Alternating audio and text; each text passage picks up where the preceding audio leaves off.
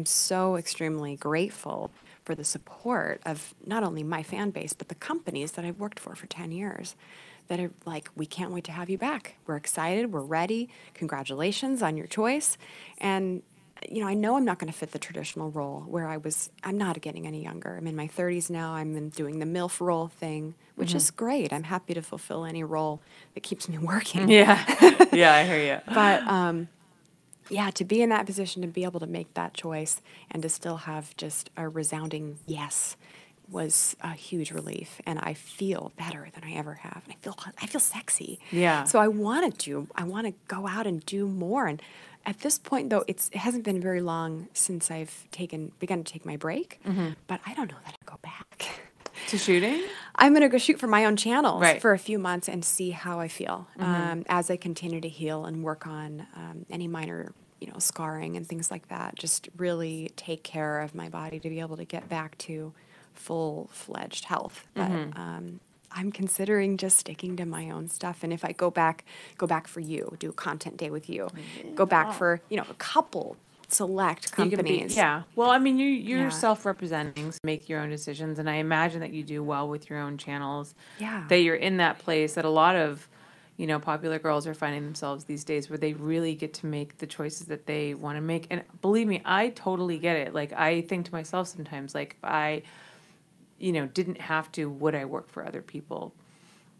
You know, pr- probably not. Yeah. Um, because shooting for yourself is like so gratifying when you have complete control over everything. Yeah. But yeah, same thing. Maybe certain projects here and there, like you know, maybe the Twistys treat. I like doing that. and Yeah.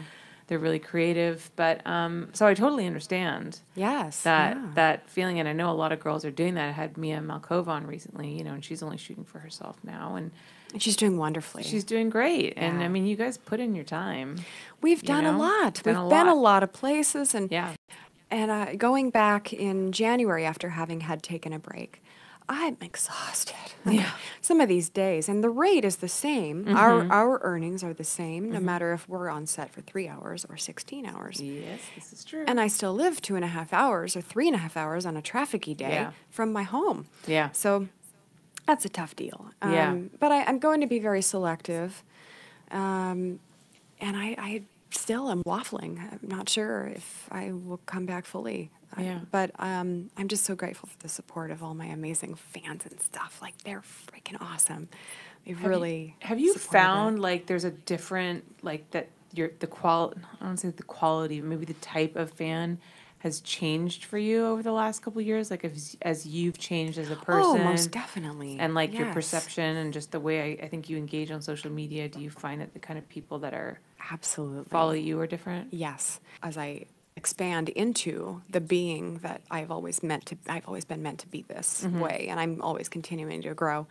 But um, the more I am my most heart centered, authentic, innocent self Mm. that I've always really wanted to be outside of the cultural norms of, you know, posting a, a half naked photo, which is what gets people's attention, unfortunately, nowadays Mm-hmm. right it's true and then posting a meaningless caption is no longer in my reality. I am I just feel so inclined to post a photo, get their attention because I have 96% uh, male viewership. Yeah. And social media across the board, 96% male.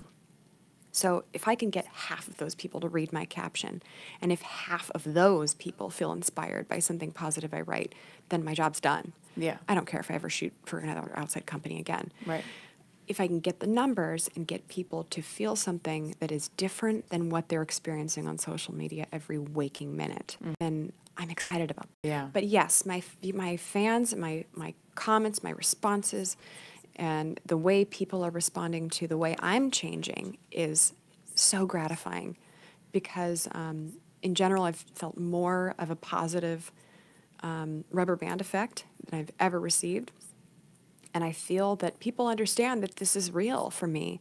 This transformation and expansion of my of my higher self is happening live in front of everyone's eyes, and I want to share that with as many people as possible. And it's not about getting people to go vegan or to join a cult or I mean none of that. I just I want people to be happy. Mm-hmm. We're all I mean everything is great and no one's happy. Yeah. So Yeah, it's like the more we get what we want, like the less satisfied we become. That's the Western world. Yeah. That's capitalism Yeah. for you. It's consumerism, and it's in all of our brains, muddling our heart brain connection. Mm-hmm. And um, people are really looking out word for something more. They're not getting it on social media. They're not getting anyone who's saying, You're beautiful. You're incredible. Man, woman, or child, creed, or color, whatever shape you come in, you're incredible. You're so awesome. And people are, you know, you know, build an empire and, and be a go-getter and fight what you believe. That's not what it's about. That's not the Yeah. innate human qualities that we were all born with. Yeah. And I'm excited to share that that new reality coming into being. I feel like more people are looking for that, but they just don't recognize that yet.